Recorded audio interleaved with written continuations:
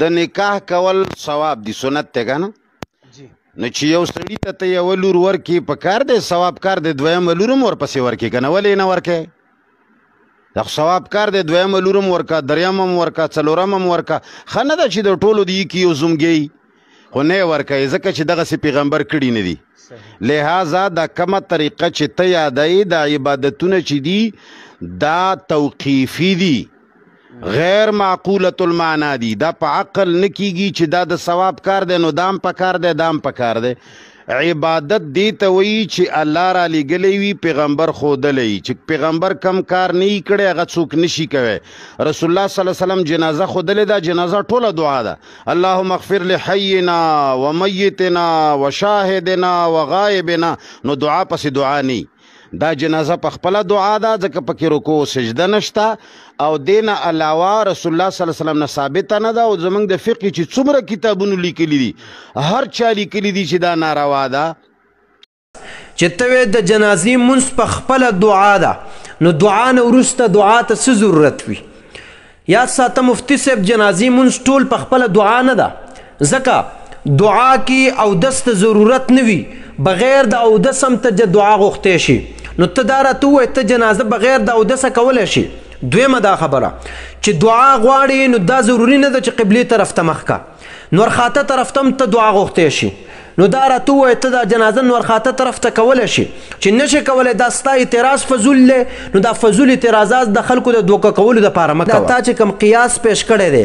چې نکاح هم ثواب کار دی او سنت عمل دی پکار دا دی دې ثواب کار کې هم وړاندې والی وکړې او دوه خویندې چې کوم دی یو سړي ته په نکاح باندې ورکوي یاد ساته دا ستا چې کوم قیاس کړی دا قیاس مال فارق او فضول قیاس ته کړی دی ځکه دوه خويندې په یو نکاح کې جمع کولو باندې نسی صریحي موجود دی نو ته اوخه دا سیو نسی صریحي چې الله فرمایلی وي چې دعا بعد الجنازه مکوې ځکه دا حرام دی یا اوخه د پیغمبر علی السلام دا یو حدیث چې نبی علی السلام فرمایلی جنازې نه ورسته دعا مکوې دا حرام دی نو نشته دا سره دلیل نه حدیث شته نه د قران نص تا سره موجود دی پاتې شو استاد درې اعتراض چې ته عبادت ټول توقیفي وي او د کې چې کم د دلیل ته ضرورت وي هغه عبادت وکاو چې کم پیغمبر علی السلام خو دلی وي صاحب دارا ته وای چې کم عبادت توقیفي وي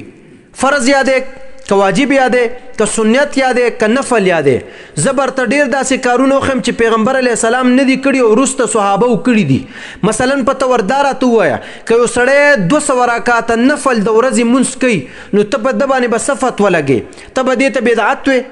ځکه داسې یو دلیل خو بیا تاسو سره نشته چې ماته اوخه چې پیغمبر علی السلام چې کم د 200 رکعات نفل مونږ چې کم د پورس کړی وي دا استحبابي عمل دی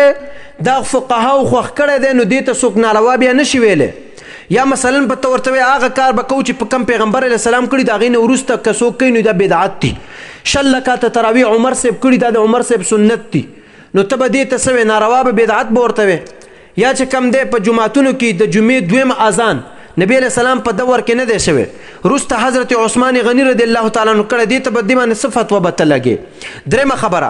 محراب چې کوم دی دا په جومات کې نبی علیه السلام په دور کې نه دا وروسته را ایجاد شوی دی نو په دې باندې بس کومه فتوا ته لګې او پاتې شو ستا هغه قول چې د ابوبکر بن حماد دا قول چې ته کوم پیش کې چې ابوبکر بن حماد وایي چې څوک د مانځنه د جنازې د مانځنه وروسته دعا غواړي دا چې کم د مکروه عمل دی ابوبکر بن حماد دا قول چې دا کم راوړی دی چې ان الدعاء بعد صلات الجنازه مکروه پس د جنازې د مانځنه وروسته دعا غوښتل دا مکروه دی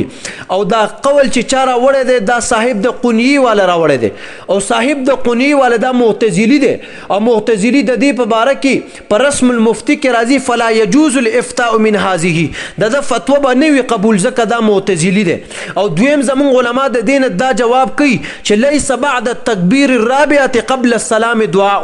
مخکې د سلام نه ورسته د سلور تکبیرونو نه دعا غوښتل دا مکروه دي او دا ناجایز دي ټیم مقرر نشته دی چې دې ټیم غواړه جایز او که ددې نه وروسته بیا غواړي به بدعت وي که د جنازې لمانځه نه وروسته لکه تاسو چې وایې دا بدعت دي ځکه نبي علیه السلام نه دي کړي مشکات شریف کتاب الجنایز نبي علیه السلام فرمایي اذا صلیتم علی المیت فاخلصوا له الدعاء کله چې تاسو په مړي باندې جنازه وکړئ د هغې نه بعد د مړي دپاره د زړه د اخلاصه دعا غواړئ فتح القدیر کتاب الجنایز کې نبي پاک صلی الله علیه وسلم یو ورځ په منبر باندې ودرېدو صحابو ته د غزوه موتا خبر ورکوي په غزوه موتا کې جعفر بن ابي طالب صاحب چې نبی عليه السلام د تره بچی دی حضرت علي صاحب رورو دا مبارک شهید شو نبی عليه السلام د د شهادت نه ورسته فصلى عليه حضور مبارک ودرې د جنازې منځ په وکړو ودعا له بیا ورله پس د جنازې نه دعا وغوښتله وقال استغفروا له صحابو ته وی صحابو تاسو مرله دعا وغواړي حضور په خپل هم د جنازې نه وروسته دعا وغوښتله صحابه ته وی صحابه تاسو هم ورله دعا وغواړئ دغه شان د له صحابه او عملو مو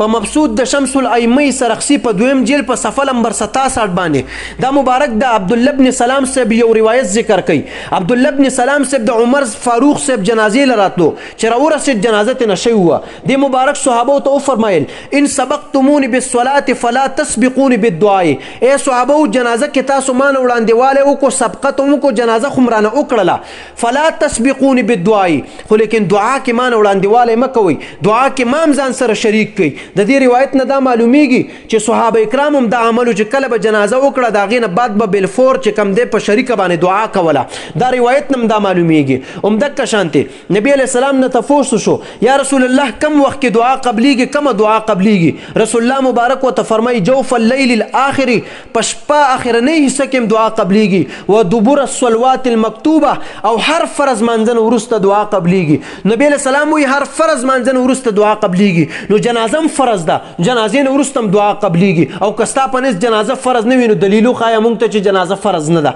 نو چې حضور فرمایي جنازه فرض ده نو د هر فرض نه ورسته دعا قبليږي نو جنازه هم فرض ده نو جنازې نه ورسته هم چې کوم د دعا قبليږي